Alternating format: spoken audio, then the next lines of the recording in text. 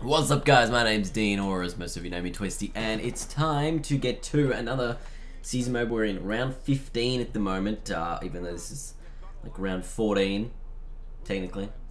Uh, because next week, uh, we're actually going to do something different, rather than a season mode video. I spoke about this a little bit last week because of the bye rounds have kind of messed up the fixture a little bit, uh, and given that Richmond had their fixture in the bye, like a round earlier than it actually happened in the actual season, um, then that sort of messed this up a little bit. So next week's the last week of the actual bye rounds, uh, and then we're gonna do something different for that. But as for now, this is what we're to be doing, and uh, we actually are to be talking about bye rounds. So opening bounce underway, uh, but let's let's get into bye rounds and and why we need them. Why are they I don't know. I guess people might think they're a new thing, but they're not really.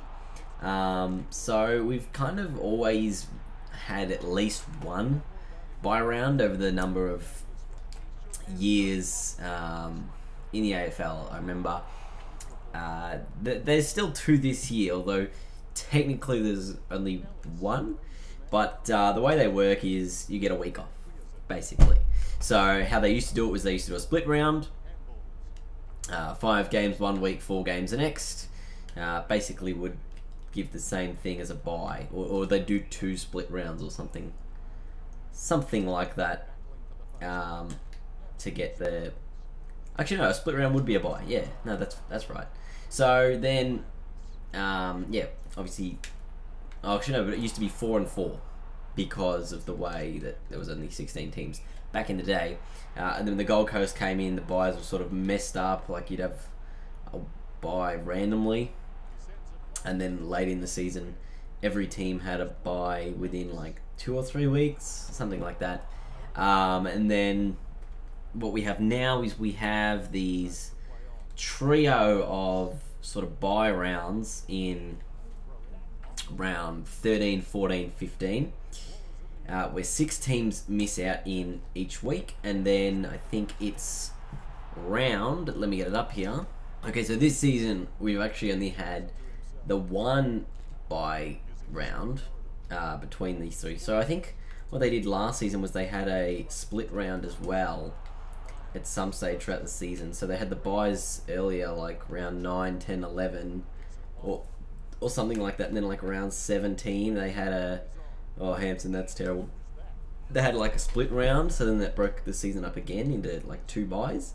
But uh, what I think they've replaced that with this season is uh, the round 24 bye. So as soon as everyone's done with their home and away games, there's going to be a bye the week before finals, which again is going to mess up our our gameplays here, and we're going to have to find something else to replace it with. But uh, I think it's going to be a very it's it's a good thing. Like players kind of need the rest, as you may notice over the coming weeks.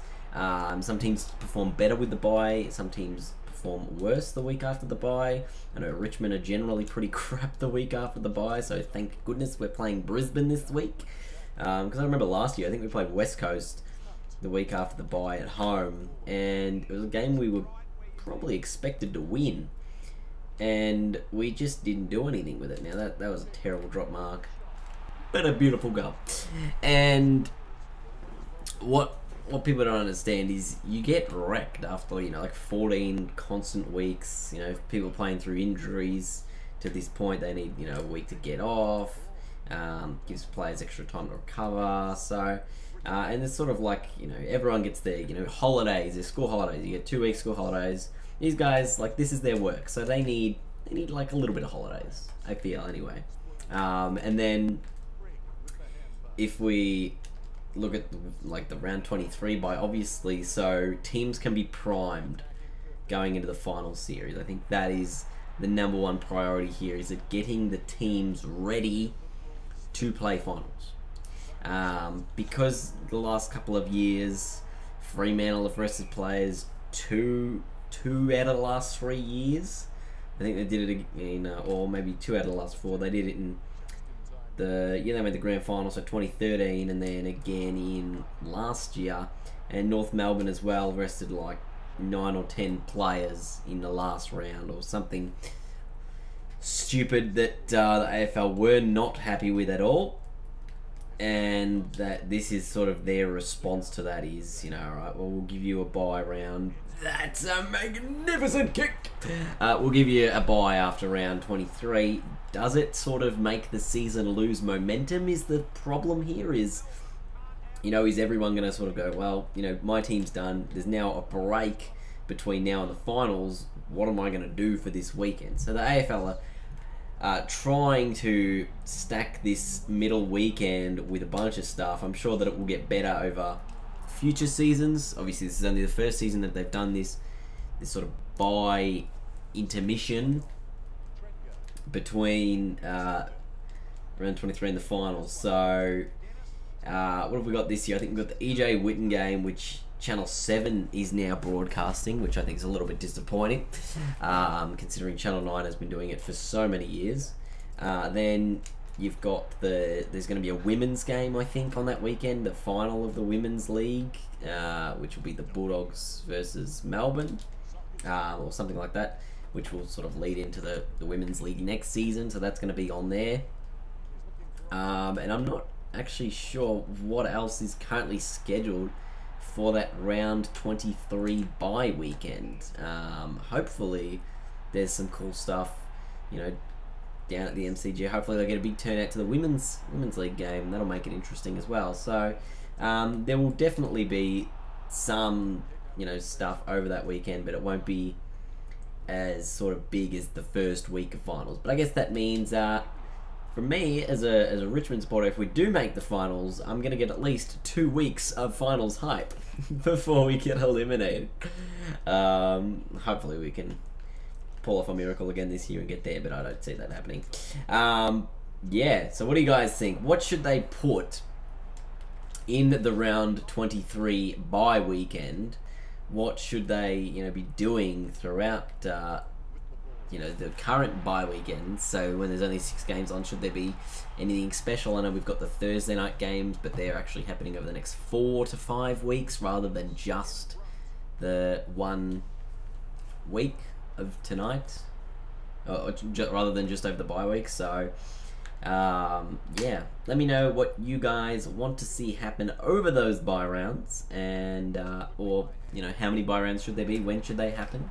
or what we should be doing in the round 23 bye. Because I am definitely going to be hungry for footy, especially if my team is KO'd from the finals. I want to watch everything that I possibly can. So, you know, I might go down to the women's game, wherever that is, and uh, watch that. So, we will see how we go. And let's uh, beat this Melbourne team because Melbourne are annoying. oh, they paid advantage. Actually, no, I'll take that back. Melbourne aren't annoying. They just beat us. Hence, they are annoying to me. Oh, Miles takes him on.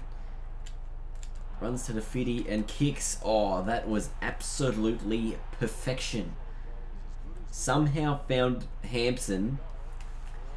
Oh, one of the funniest things was uh, last week against. Uh, it would have been two weeks ago now against the Gold Coast. I was watching the game back uh, when we won in the last quarter. Hampson takes a mark about 20 metres out, directly in front. It was a great mark. And Dennis Cometti on commentary goes, This is no mere formality, believe me. And I just started pissing myself laughing. I'm like, Shaun Hampson, he's not known for his great goal kicking ability.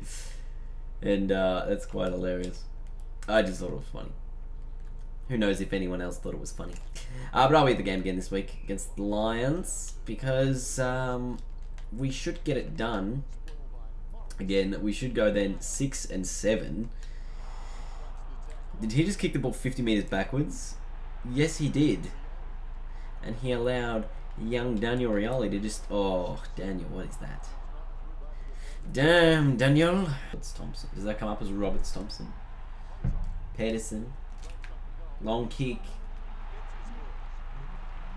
Okay. Sub in uh, Mabior.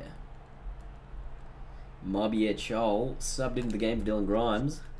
Sort of might just give him a little bit of a wee little run here. lost Stone out of defence. Long ball Lloyd at the back. Griffiths. Oh, gee whiz. Somehow got rid of that. In the back three to Melbourne. They're lucky to get out of that one. Very lucky. Trengove now. He's got it on the wing. I think he's disappeared into the stand.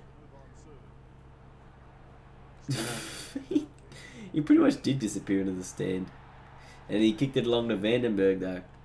Oh, that's not a bad kick to Tyson, who could probably have got it and gone. And he goes long in the doors direction. Rance. Just couldn't outmark him there. I think that was a... thought maybe Alex Rance, you know. Oh my goodness. My goodness gracious me. Can I get one last goal? No. A two goal win from a six goal game.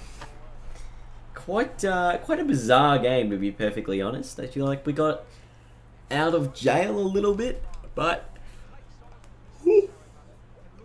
one behind each in the last quarter. My goodness. Uh, I've got the ladder up for you guys who want to see the ladder. Richmond are 14 games played, 12 wins and 2 draws, I believe. Does that make sense? 12 times 4 is 48. Plus 2 draws, yeah. And then we play the Gold Coast Suns. Okay. Where's that one being played? Is it being played? No, it doesn't say. I know it's our home game, but like, alright, well, let's have a look at the, the technical ladder here.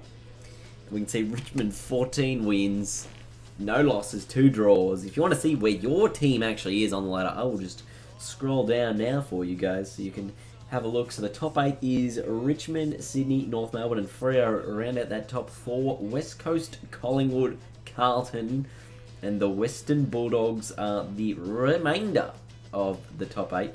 Followed by Brisbane, very close. The Giants, very close. Geelong, St Kilda, Port Adelaide, Hawthorn, Gold Coast, Essendon, Melbourne, and the Adelaide Crows sitting on the bottom of the ladder. But everyone is still a mathematical chance of making that top eight right now. Let me know what you guys think. Uh, what should we do with bye rounds? Should they keep going? Should they not keep going? You decide, and I will see you guys later.